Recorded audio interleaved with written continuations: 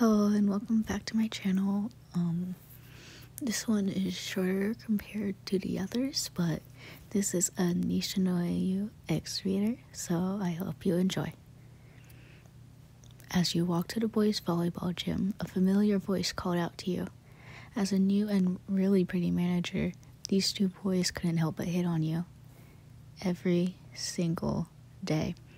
Mayan-san, a small figure jumped towards you. What you turn around, unable to react in time. You stare at a grinning Noya, a blush rising to your cheeks. Although you hated to admit it, over the past week after transferring to Karasuno, you've fallen for the little guy.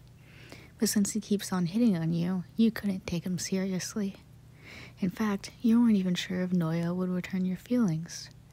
Wayan-san, you heard Nishinoya say, interrupting your train of thought. yes, Noya-san?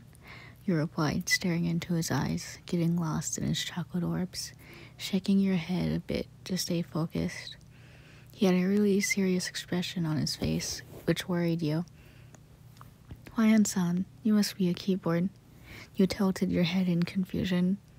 Um, me? A keyboard? Okay then, you thought. Then Nishinoya finished his sentence.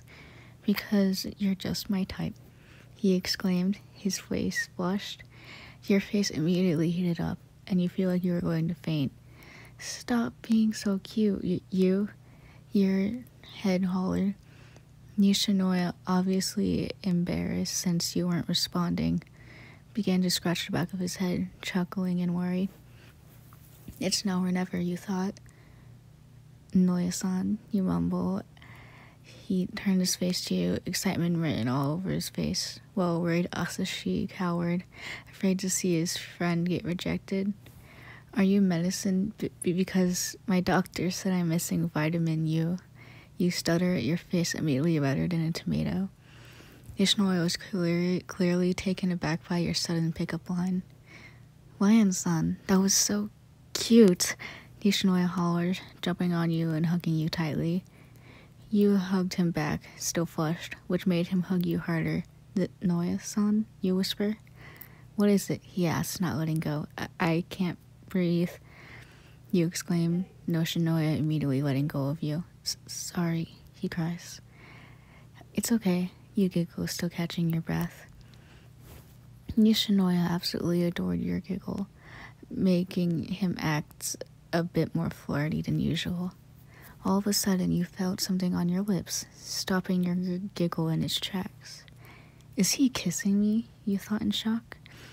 His slightly chapped lips felt perfect on yours, and you found yourself unconcealiously kissing him back. The kiss lasted almost forever, but it felt like it was less than a second. Time flew by so fast, and when you two finally parted lips, you both were out of breath gasping for air. Bro, you did it! Tanaka hollered, cheering on Nishinoya. Yup, Nishinoya said proudly while he sat on the ground, embarrassed. You completely forgot people were watching. Well, I guess I've got myself a girlfriend now, he exclaims, looking at you with a wink. Yeah, yeah, you mumble, still embarrassed. Dude, now I've got to catch up. Ah, you sure do.